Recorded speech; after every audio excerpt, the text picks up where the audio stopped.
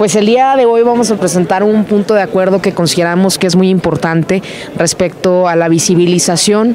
de la falta de una perspectiva de género en materia del presupuesto. Vemos que se utiliza eh, el término de equidad de género como algo en el que está en el discurso, que está en el lucimiento gubernamental, que se habla mucho de eso, que se defiende con algunas iniciativas, pero que no llega a lo más importante que es pues finalmente el presupuesto. El presupuesto se da de manera general, hay bolsas destinadas a educación, bolsas destinadas a salud, bolsas destinadas a seguridad pública, a impartición de justicia, pero estas bolsas jamás han estado etiquetadas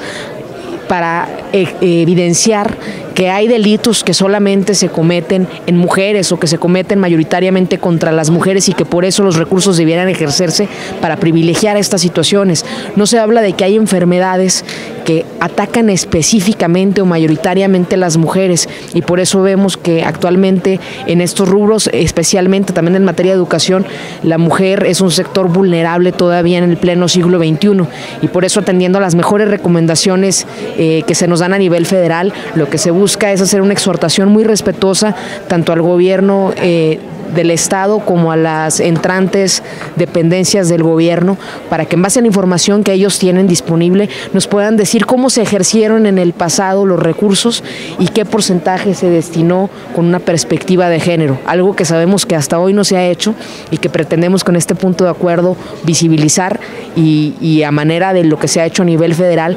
a partir de este momento que se empiece a exponenciar la forma en la que se aplican los recursos para que la ciudadanía tenga la certeza de que los impuestos que pagan con tanto esfuerzo se están ejerciendo con los mejores parámetros de defensa de los derechos humanos y en este caso específico en favor de la equidad de género.